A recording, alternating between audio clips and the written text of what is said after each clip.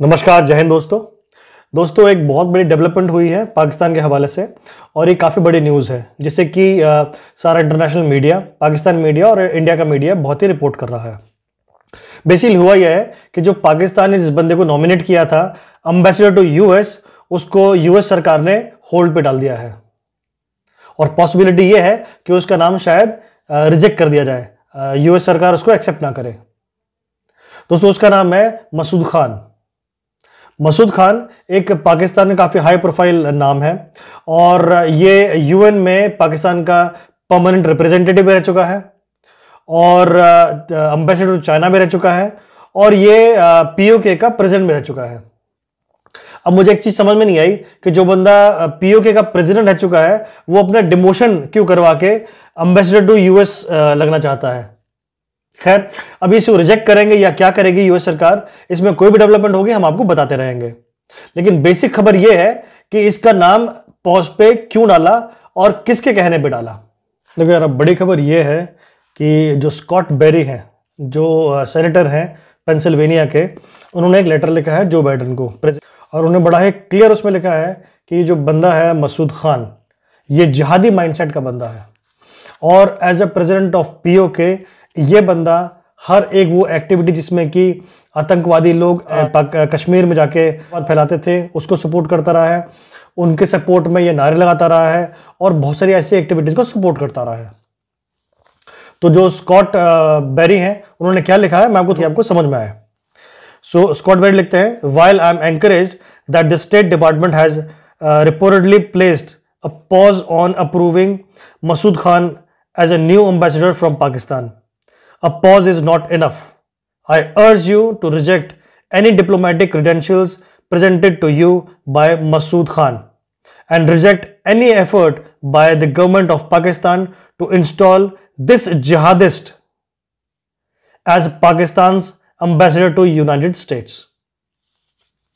तो इसमें बहुत ही क्लियर उन्होंने लिखा है देखो बेसिकली ये जो बंदा है मसूद खान ये सारी ऐसी एक्टिविटीज़ को, जिसमें कि कश्मीर में आतंकवाद फैलता रहा है।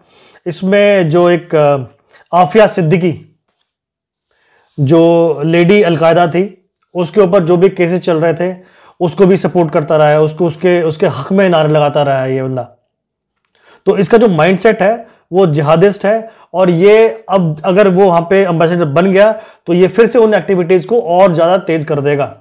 तो ये डर है जिससे बड़े ही क्लियरली उसने लिखा है स्कॉट बेरी ने, कि इस बंदे को रिजेक्ट करना चाहिए, क्योंकि ये बंदा ठीक नहीं है, जो तुम्हारी स्टेट की जो स्ट्रेटेजिक पॉलिसीज़ होती है यूएस की, और उसके लिए भी अच्छा बंदा नहीं है। उसको भी ये गलत तरीके से आगे बढ़ाएगा, और कश्मीर का जो राग है, उसको फिर लापेगा और उसमें जो जो भी आतंकवादी एक्टिविटीज़ हैं, उसको सपोर्ट करेगा। तो इसको रिजेक्ट होना चाहिए। अब देखने वाली बात यह है कि इसमें पाकिस्तान का स्टांस क्या होगा? पाकिस्तान का स्टांस तो एक ही हो सकता है कि ये तो इंडिया ने कराया है। इंडिया नहीं चाहता कि मसूद खान यहाँ पे एम्बेसडर बने। या इंडिया का इसमें हाथ है इंडिया की लॉबी शामिल है ब्ला ब्ला ब्ला ब्ला अब मुझे एक चीज़ समझाओ यार, कि इसमें इंडियन लॉबी अगर शामिल है भी तो क्या गलत है? वो बंदा जो इंडिया में टेररिज्म को सपोर्ट करता है। देखो, इसमें एक और वर्ड है इसमें लिखता है जो स्कॉट बेरी उनका जो लेटर उसमें लिखा है, Masood Khan has praised both terrorist and foreign terrorist organisation including Hizbul Mujahideen. यानी ये बंदा टेररिस्ट को और टेररिस्ट ऑर्गेनाइजेशन को सपोर्ट करता है। इसने सपोर्ट किया उस बुरहान वानी को जिसने इंडिया में अटैक किया। सो so ये इस माइंडसेट का बंदा है कि ये जिहाद और जिहाद से जुड़ी चीज़ों को ये बहुत सपोर्ट करता है, उनके लिए स्लोगन लगाता है, उनके लिए बड़ी बड़ी बातें करता है। तो इस बंदे को क्यों ना स्टॉप किया जाए? देखो, आज दुनिया आतंकवाद से जूझ रही है। हर बंदा परेशान है आतंकवाद को लेके। जो चाइना का भी स्टैंड है ना उइगर्स को लेके उसमें ये है कि जो उइगर्स हैं, वो काफ़ी ज़्यादा इंस्पायर हुए थे इस आतंकवादी घटनाओं से और आतंकवादी घटनाओं के कारण वहाँ पे काफ़ी बढ़ गए थे आतंकवादी जो घटनाएँ हुई थी वो, शिनजियान में काफ़ी बढ़ गई थी। सो इसलिए उसने जो उसका स्टैंड है उसका भी स्टैंड ये है कि भाई आतंकवाद को बढ़ने नहीं देना चाहिए। और इसीलिए उसने हर उइगर को बंद किया हुआ है नज़र बंद किया हुआ है या उसको रिहैब कैब जो कैंप्स होते हैं वहाँ पर रखा हुआ है। और अगर इस स्टैंड को अगर आप सपोर्ट करते हो जहादिस माइंडसेट को तो क्यों इंडिया उसको अपोज ना करे? क्यों इंडिया उसको बहाल होने दे? अगर इंडिया ने किया है तो बहुत अच्छा किया है। और ऐसा ही होना चाहिए। क्योंकि इंडिया का ये काम है कि जो भी प्रोपेगेंडा उसके खिलाफ हो, उसको इंडिया स्टॉप करे। अब इसमें एक एंगल आता है इमरान खान का भी। बेसिकली हो क्या रहा है? अब बहुत ही कम टाइम बचा है। अगले साल अगस्त में इलेक्शंस होंगे। और अभी तक इमरान खान अपने आप को प्रूव नहीं कर पाया है। अपनी इकोनॉमी का भट्टा बिठा दिया है। जो असेंशियल चीज़ें हैं, वो आवाम के पहुँच से बाहर हो चुकी हैं। आवाम में अब बहुत ही नेगेटिव फीलिंग है इमरान खान को लेके। और ये फीलिंग भी है कि इमरान खान ने समझौता कर लिया है कश्मीर के ऊपर में, या कश्मीर को बेच दिया है, या कश्मीर को निगलेक्ट कर दिया है। कश्मीर पे बिल्कुल काम नहीं हुआ है। अब वो सारे हथकंडे ये अपना रहा है ताकि लोग उसको ये बोले कि यार, कुछ तो किया है इसने, इमरान खान ने कुछ तो किया है। इसीलिए वो ऐसे बंदों को सपोर्ट कर रहा है जो आतंकवाद को प्रमोट करते हो, जो जहादिस माइंडसेट के हों। क्योंकि ये चीज़, ये चूरन बहुत ही सूट करता है पाकिस्तान को और पाकिस्तान में बहुत इजीली चीज़ें बिक जाती हैं ये। क्योंकि अपनी सारी नाकामियों को वो इस चूरन के तले दबा देते हैं और क्योंकि वहाँ की आवाम तो बड़ी भोली और बड़ी ही यू नो इमोशनल है। उसको कश्मीर का चूरन दो और वो बाकी सब चीज़ें भूल जाती है, अपनी भूख प्यास तक भूल जाती है। तो ये चूरन उसने फिर दिया है कि उसने इस बंदे को, मसूद खान को, क्योंकि ये बंदा कश्मीर के जो टेररिस्ट ग्रुप्स हैं, कश्मीर में जो सारे, जो टेररिस्ट उनको सपोर्ट करता रहा है। और अगर ये एम्बेसडर बन गया तो फिर से वो उनकी बातें शुरू कर देगा। तो होगा क्या? जो सारी नाकामियाँ हैं वो इसके पीछे छुप जाएँगी। और एटलीस्ट यू नो आवाम में एक, एक एक इस तरह से न्यूज़ जाएगी या इस तरह से एक पैगाम जाएगा कि यार इमरान खान इमरान खान ने आ, कश्मीर के लिए कुछ तो किया। सो so ये एक एंगल और दूसरा है इमरान खान का इसमें। ये बेसिकली एक बहुत ही सोच समझी साजिश मैं बोलूँगा या बहुत ही एक आ, सोच समझी स्ट्रेटेजी है। इमरान खान की, जिसमें अपने आप को ये प्रूव करना चाह रहा है कि वो वाकई कश्मीर को लेकर बहुत सीरियस है उसमें वो काम कर रहा है। देखो, इस खबर में दो तीन पॉइंट बहुत इंपॉर्टेंट है। बेसिकली क्या है कि इस तरीके के कोई भी नॉमिनेशंस जो भी कोई गवर्नमेंट करती है, उसमें इस तरह के पॉज लगते नहीं है।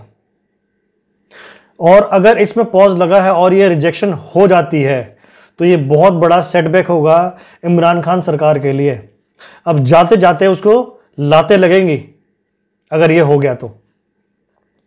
क्योंकि किसी भी सरकार का अगर वो नॉमिनेशन देता है तो उसका बहुत बड़ा ये अपमान या मैं बोलूँ बहुत बड़ा इंसल्ट ही मैं बोलूँगा, क्योंकि कोई सरकार बोल रही है यार हमारे बंदे को रखो और दूसरा कंट्री बोल रहा है कि यार चल हमें नहीं चाहिए, क्या करना है इसका, कौन है ये? सो ये बहुत बड़ा एक सेटबैक होगा इमरान खान के लिए। फिर दूसरा पॉइंट ये है कि इसमें इमरान खान प्रेशर डालेगा कि भाई नहीं इसे रखो। थोड़ा रिजर्वेशन होंगे इसमें कि भाई नहीं, इसे रखो। लेकिन मुझे लगता नहीं इसको रखा जाएगा। उसका रीज़न ये है, ये भी हो सकता है आई वुड से मतलब ये मेरा ज़ाती सोचना है कि इमरान खान वही है ना एब्सोल्युटली नॉट वाला। तो ये थप्पड़ मारा है यूएस सरकार ने इमरान खान के मुँह पे। उसने उसको उसकी औकात दिखाई है कि तू था ना वो, जिसने बोला था एब्सोल्युटली नॉट तो ये पकड़ अपना बंदा, नहीं चाहिए हमें। सो so, एक ये दूसरा एंगल भी हो सकता है इसका कि यूएस ने एब्सोल्युटली नॉट का ये एक आंसर दिया है इमरान खान को और उसकी असली औकात बताई है। कि अगर तू अगर पीएम भी है तो हमारे लिए किसी गिनती में नहीं है क्योंकि तू पाकिस्तान का पीएम है। तो ये दो बड़े बड़े सेटबैक्स मुझे जो नज़र आ रहे हैं कि भाई एक तो ये जवाब है एब्सोल्युटली नॉट का पाकिस्तान को और दूसरा ये कि पाकिस्तान का जो बंदा अगर ये रिजेक्ट हो जाता है तो पाकिस्तान के पीएम इमरान खान, उसका क्या एक इमेज रह जाएगी उसकी आवाम में? उसकी क्या क्रेडेंशियल्स रह जाएँगी? उस पर क्या ये लोग भरोसा करेंगे कि यार जो बंदे को नॉमिनेट किया, उस बंदे को रिजेक्ट कर दिया यूएस ने? उस पीएम का क्या औकात है? उस, वो पीएम मतलब उसकी क्या वैल्यू है? हालाँकि उसके पहले वैल्यू हम देख चुके हैं। उसने न्यूजीलैंड की जो प्राइम मिनिस्टर थी, उसको फ़ोन करके बोला था कि भैया आपने ये बंदे वापस मत बुलाओ। लेकिन फिर भी वापस चले गए थे वो। तो हालाँकि कुछ वैल्यू तो है नहीं इमरान खान की। तो ऐसे कोई बहुत बड़ी बात नहीं है। बहुत बड़ा कोई तूफ़ान टूट गया कि भाई यार ये हो गया या वो हो गया। ज़्यादा इंडियंस को खुश होने की ज़रूरत नहीं है, क्योंकि तुम खुश हो रहे हो, खामा खा के उसकी वैल्यू नहीं है। अरे भैया, उसकी वैल्यू तो पहले से नहीं थी यार तो खुश होने की ज़रूरत क्या है? It's a normal thing for him कि कोई भी आके उसे उसको कहते हैं ना, सर पर टपली मार के चले आता है कि चल, पाकिस्तान का पीएम है, कौन है तू? तो इस तरीके से है ये। तो मैं तो इसको यही बोलूँगा कि बहुत बड़ा एक थप्पड़ है ये इमरान खान के मुँह पे। एब्सोल्युटली नॉट का आंसर है ये यूएस का। इसमें एक बात सोचने की अगर ये है कि जब इसका नाम सजेशन के लिए डाला था आगे मसूद खान का। तो जो वहाँ के जो ब्यूरोक्रेट्स हैं, वो बेवकूफ़ हैं क्या?